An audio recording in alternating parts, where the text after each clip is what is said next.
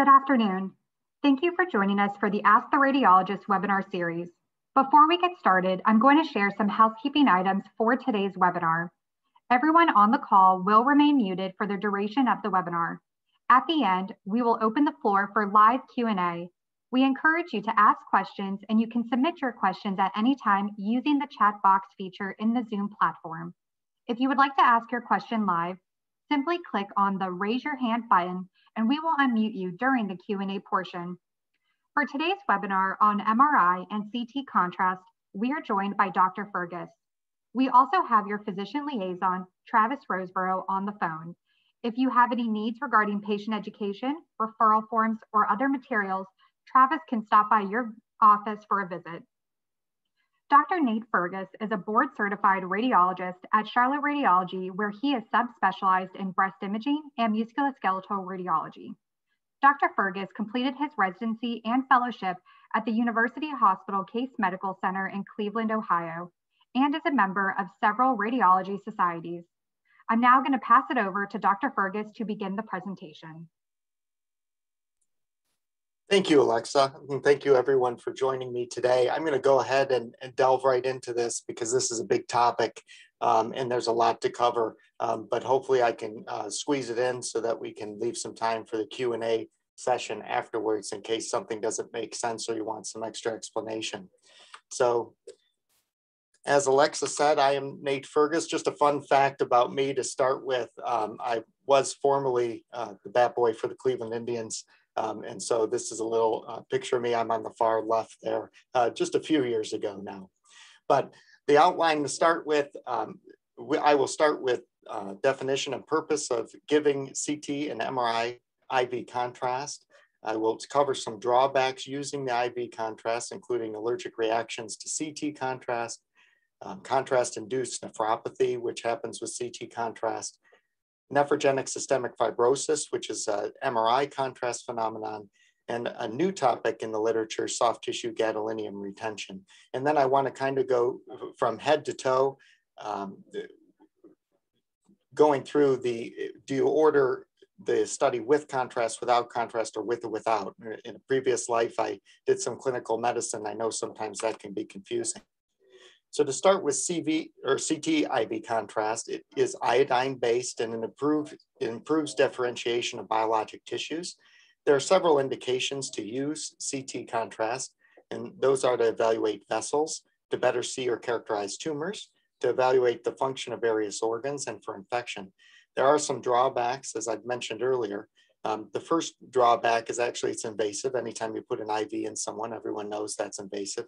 Uh, there are allergic reactions that can happen and there is contrast-induced nephropathy. To start with allergic reactions, they are uncommon. They're adverse events that happen in 0.2 to 0.7% of injections. They're severe in 0.04% and can be fatal in one out of every 170,000 injections. The biggest risk factor for having a reaction is having a prior reaction, and your risk is increased five to six fold. Also, if, you, if a patient has a history of severe atopy, that does increase the risk. Hopefully we all know now that there is no specific link between allergic reactions to contrast, IV contrast and shellfish allergy. Uh, it's a totally different thing that people are allergic to when they're allergic to shellfish called tropomyosins if anyone's, uh, if, if anyone's interested. Um, if someone has had a reaction in the past, there are some elective pre-medication uh, regimens that I have listed there. And we can also, in the radiology suite, use an emergent pre-medication regimen uh, if we really need the study to be performed. Uh, and it, everyone should know that active infection and impaired immunity are relative contraindications to giving steroids. Contrast-induced nephropathy uh, happens with CT contrast it's acute injury following contrast administration. Know that there is a low risk for this happening with stable renal function. We like to get a serum creatinine to determine patients' risk if they're over 60, if they have kidney disease, if they've had a family history of kidney failure, if they have diabetes, hypertension, they're on other nephrotoxic meds, or if they have a paraproteinemia such as multiple myeloma. Um, know that anuric patients with end-stage renal disease can get contrast, unfortunately, because their kidneys aren't working, so they're not going to get greater kidney damage. We, in order to diagnose contrast-induced nephropathy, uh, the definition is an absolute increase in creatinine by, by 0.3, uh, increase in creatinine by 1.5 times over their baseline, and a urine output of less than or equal to 0.5 milliliters per kilogram over the past six hours. Now to switch to MRI contrast, it's gadolinium based. Gadolinium's a heavy metal that's paramagnetic and alters the signal in tissues. There are several indications which are very reminiscent of CT contrast indications with the added benefit of, of being able to see active demyelinating lesions in the neural axis. Drawbacks again are they're, they're invasive. There are adverse reactions, but they're exceedingly rare nephrogenic systemic fibrosis we'll go over and, and the new topic of organ accumulation. To start with NSF, it is a severe, potentially fatal progressive fibrosis of the skin and other organs that happens in um, patients days to months after contrast administration. Again, we, can, we like to consider creatinine levels in patients over 60 or if they have kidney disease or diabetes or hypertension.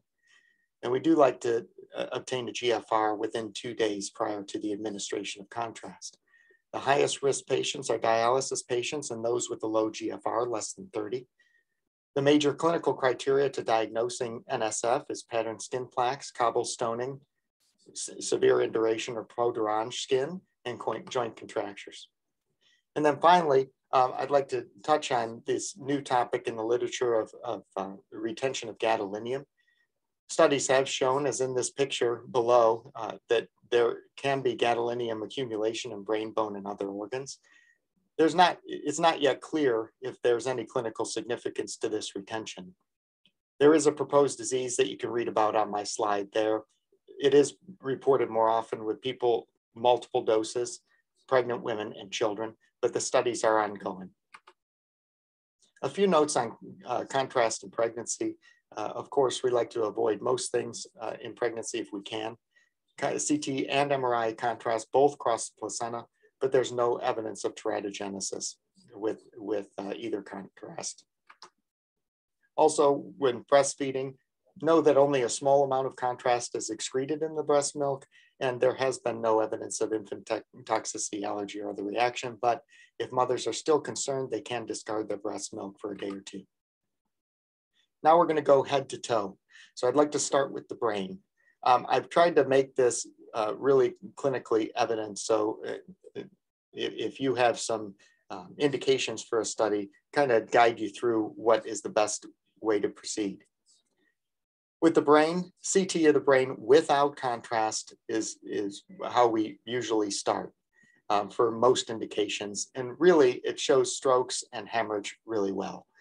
In the upper picture, there's a left MCA distribution stroke. Know that in radiology, our right and left are, are switched. So it's on the right side of your screen. But there's that low attenuation geographic area. I don't know if you could see my mouse or not, but, but I'm pointing to it there. Um, and that is a, a stroke in a non-contrast CT. In the lower image, there's some irregular high density material in the left side of the brain. That's hemorrhage on a non-contrast CT. We can see all that very well. Now, very rarely we'll, we'll do a, a, brain with and without contrast. This is mostly in patients who can't get an MRI um, and they have acute headache and, and they do have a history of malignancy. So you're, you're worried about malignancy in the brain. In these pictures in the, in the right side of the brain, you can see a metastatic lesion, that rounded thing over there with surrounded surrounding edema. Um, and that is uh, contrast enhancing. So that's why we use contrast because we can see the abnormal vessels within the tumor. When it comes to the vessels in the brain, uh, we use CTAs of the head, and that means CT um, arteriogram or angiogram. Um, and that's always done with contrast when, it, when we're talking about CTs.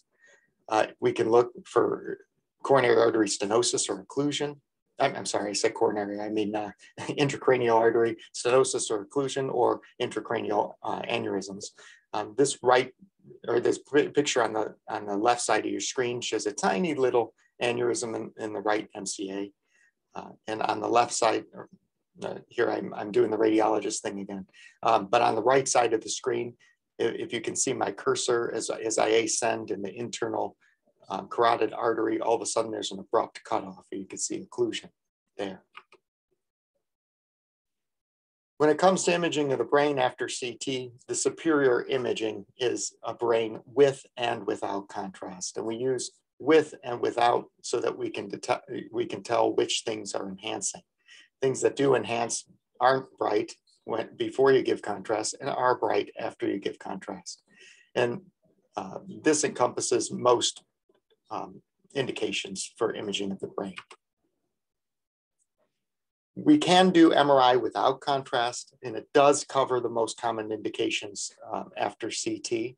Uh, just most people do order with and without, uh, just because if we can't answer the whole question as radiologists uh, on a non-contrast exam, we may ask you to get a contrasted exam as well. So sometimes people just race ahead and do the with and without, but know that if a patient can't get MRI contrast or you just want to order it without, we can um, make most diagnoses without contrast.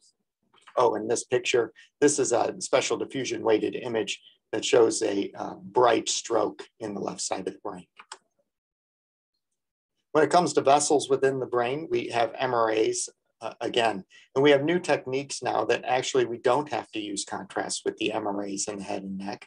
Um, the one exception is that if the person has had a previous aneurysm that's been coiled or clipped in the brain, uh, the sequences that we use uh, make that metal, uh, well, produce a large amount of artifact with the metal. And so we do do with contrast if they have metal in the brain. But other than, other than that, we can do without. And it's the same indications as the CTA of the brain. Just some special cases. Um, if there's facial bone fractures, we don't need contrast. So you can get a CT of the facial bones without contrast. And these pictures nicely show, um, unfortunately for this patient, a million fractures uh, indicated by all the arrows. CT is nice because we can do 3D, 3D reconstructions, as you can see on the right side of your screen, the skull. Um, and that's the lines are showing the distribution of the fractures that we can tell on a CT without contrast. If a patient has conductive hearing loss or mastoiditis, uh, we can do a CT of the temporal bones. We don't need contrast for that. This image nicely shows on the on the left side of, of the of the of the head, which is your right side of the screen, the mastoid air cells are nicely filled with air, the black air. And on the right side, they're filled with this gray material, mucus and, and fluid. And this is mastoiditis. Now we'll move on to soft tissues of the neck. The best way to see the soft tissues of the neck is a, is a CT with contrast. Why do we need with contrast? Because there's a lot of uh, structures that are crammed into the neck and they're all smushed together. So when we when we give contrast, it nicely differentiates differentiates the um, different tissues. And, and you can read on the slide the different um, indications for, for such a study. The left-sided picture, um, and hopefully this is all, all these pictures are interesting to you. I know most of you aren't radiologists, but I'm a dork radiologist, so this is why I went in. So I, I think that these, these pictures, um, this patient has an enhancing parotitis on the right and that's blocking Stensen's duct. Um, in this right-sided picture, you see these rim enhancing low attenuation round structures on either side of the neck. Those are tonsillar abscesses, very nicely seen in a CT with contrast. Moving on to the chest, almost everything in the chest we can see on a CT without contrast. And that's really the work, workhorse of chest imaging. Uh, the most common indications are infection and lung nodules and masses. Uh, pertinent, unfortunately, to, to today um, is COVID-19 pneumonia. Um, this is a picture of our typical appearance of COVID-19 with these patchy white densities in each lung with a peripheral distribution. This non-contrast CT nicely shows that. There are special non-contrast CTs called high resolution studies, which are pretty much evaluate interstitial lung disease, COPD, and bronchiectasis. High resolution just means that we look for our air trapping uh, with the patient doing an expert in expiration, we image them. Uh, and also we put them on their belly uh, so that we can tell the difference between atelectasis and as in this case, um, there's fibrosis in the posterior lung basis. Um, sometimes atelectasis can look like that, but when we put them on their belly, if it persists, it's not atelectasis, it's most likely fibrosis. There are special cases when we do a CT of the chest with contrast, and that's mostly cancer or, or some kind of uh, pleural disease. And, and uh, another big indication is for mediastinal lymphadenopathy. This um, example here is a CT of the chest uh, with contrast. You can see that the aorta and the pulmonary artery are, are bright because of the contrast material, and, and these lobular, um, less bright uh, um, structures in each hilar lymph nodes. If we didn't put the contrast in there, everything would look the same color. And so that's why we, um, it sometimes really makes it stand out to us if we give contrast. Sometimes we, we need to look at the vessels in the chest more clearly, and those are CTAs of the chest, and all those are done with contrast. And the most common is for pulmonary embolism, um, and also we can look at aortic disease. It's infrequent that we have an MRI of the chest, but we, we can do that other than cardiac, which we'll get to next, but we will do that with and without contrast for things like chest wall masses or mediastinal masses. In this example, there's a, a cystic lesion in the anterior mediastinum that turned, turned out to be a thymic cyst. When it comes to coronary arteries, uh, the best way to look at the coronary arteries via our imaging, this is um, uh, not what our cardiologists do. They directly look at it with, with angiogram, with angiography. Um, but what we look at are, um, we can see them most clearly on a CT of the coronary arteries with and without contrast. And um, we do the without so that we can see calcium, as you can see in this picture down here, that bright calcium within the proximal portion of the left anterior descending coronary artery. Um, and we also give the contrast is, as in this example, fills the aorta, the, the left ventricle, and also the coronary artery. So we can see areas of narrowing that are not due to calcium. If we're just looking for plaque burden, we do a CT coronary, cal coronary calcium score, which is done without contrast, and, and we just quantify the amount of calcium in the coronary arteries. Uh, continuing with the MRI of the heart, um, most indications for MRI we do with and without contrast, and that's for um, the cardiomyopathy, ischemia, or pericardial disease. Um, this example, uh, this round structure is the left ventricular wall. You can see this brightness on the inside of the lateral wall, and that's ischemia, uh, subendocardial ischemia. So that's uh, with and without contrast. We can do uh, MRI of the heart without contrast, mostly for cardiac anomalies, looking at anatomy, as in, in this example, that shows that the aorta is on the wrong side of the pulmonary artery in this patient with transposition of the great vessels. Moving on to the abdomen and pelvis, the workhorse for imaging of the abdomen and pelvis is a CT with contrast, and that's for almost every uh, indication uh, that you can think of, mass, pain, weight loss, cancer, um, lymphoma, everything. Um, this example, it's real zoomed in, so it's hard for you to tell where we are, but this is the right lower quadrant of the abdomen. Um, uh, to the left of the screen is the cecum, and there's this tubular structure coming off. That's the appendix. It is dilated, and there's a rounded appendicolith within the appendix. This is an example of appendicitis. You can see the enhancing wall of the appendix and some surrounding inflammation, all uh, better appreciated with contrast. Sometimes there is an indication for a CT of the abdomen or pelvis with and without contrast, and those are mostly phasic studies. Phasic studies are mean that we do a CT without contrast, and then we give contrast, uh, and we image at different time points, um, and, and that tells us how certain structures or tumors are taking up contrast and getting rid of it, and it helps us make the diagnosis. Certain examples that we might need that for are, are liver disease, looking for hepatocellular carcinoma or regenerative nodules, adrenal masses, um, adrenal masses, if it's lipid-rich adenoma, um, we can see the fat on a non-contrast exam. And then if it's lipid poor, then we can make the diagnosis of an adenoma depending on how the uh, mass takes up and gets rid of contrast.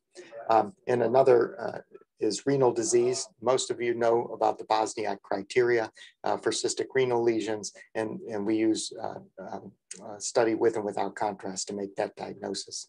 The image on the left side of your screen just shows some bilateral adrenal nodules that turned out to be lipid poor adenomas uh, diagnosed with a phasic study.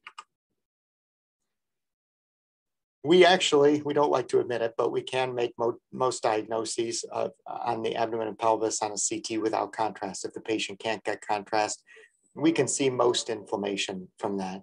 Um, however, know that it is difficult to differentiate the different soft tissues without using contrast.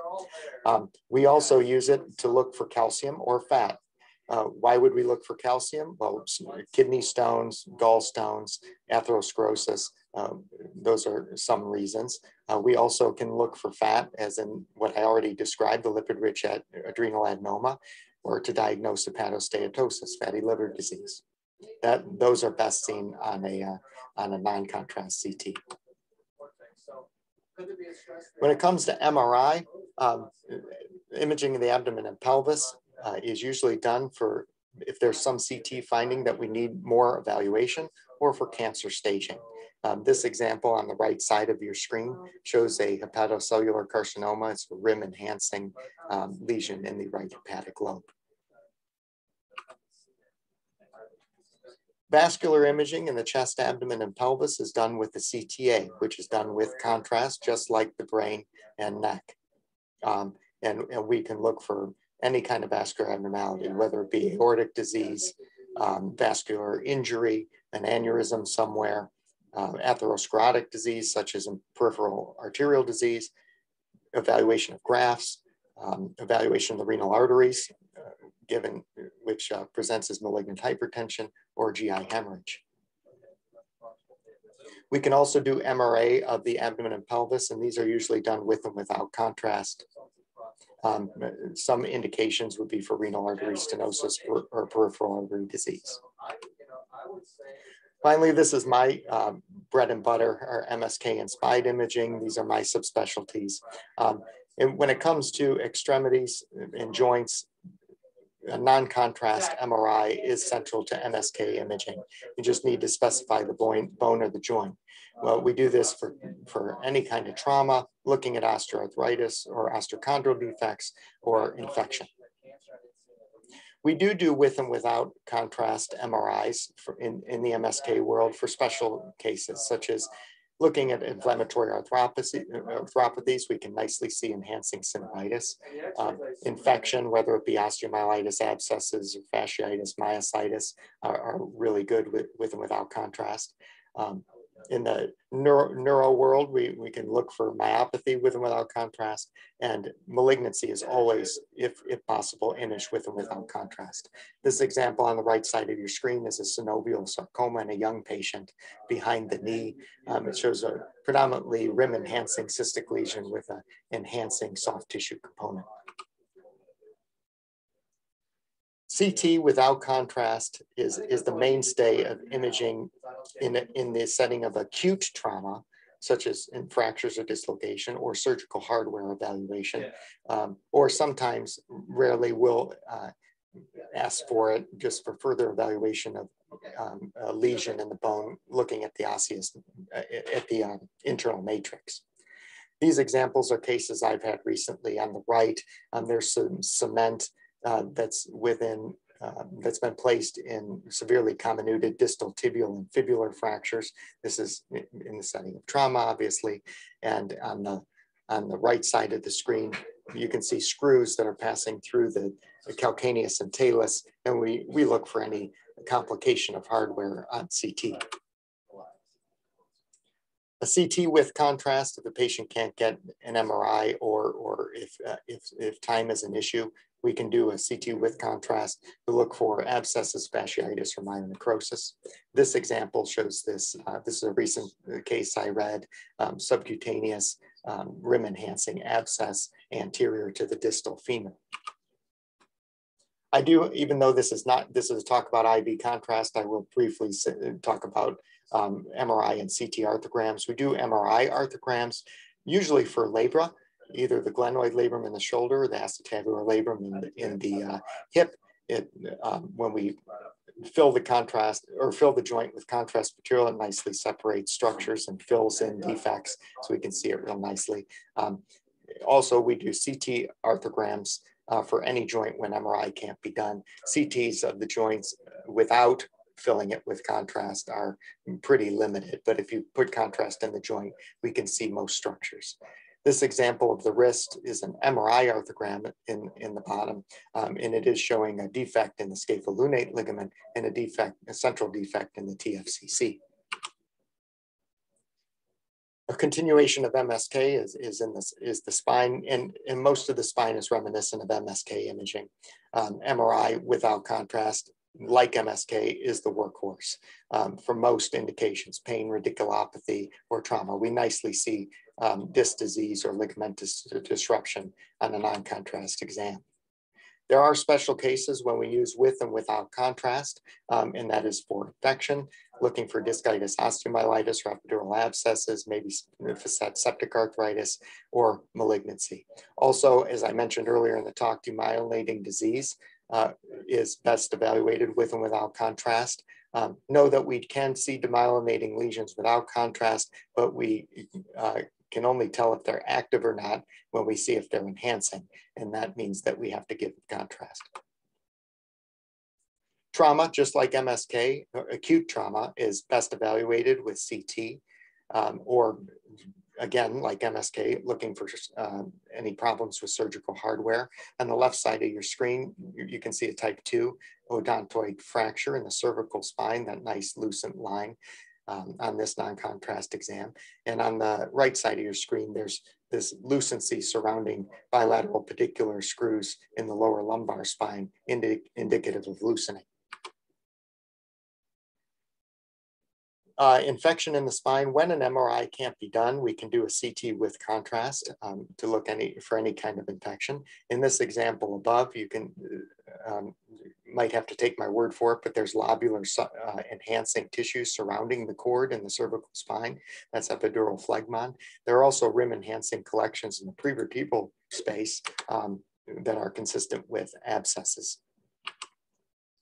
And so this is small print, but this is just a summary over everything that we've gone. And if, if you get a copy of this, this is maybe a nice thing to post in your, uh, without my picture, of course, uh, nice thing to uh, post in the office um, as a summary. And uh, this this picture, again, I was, that way, this is me next to David Justice and some of my very good buddies.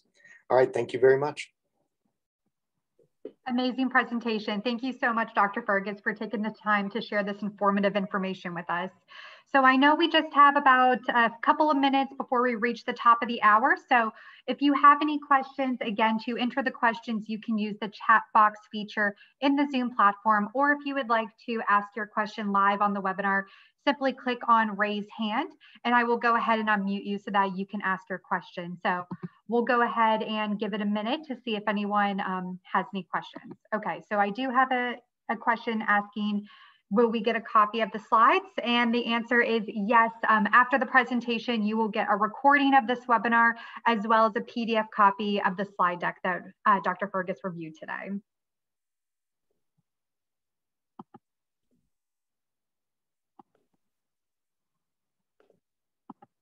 Hey, Doc, this is Travis. Um, quick question. Uh, I know in your daily activity, um, you probably run on um, some some hot buttons where people order the wrong things. Um, what, what are the top maybe two or three that come in incorrect uh, when you're trying to look for an image?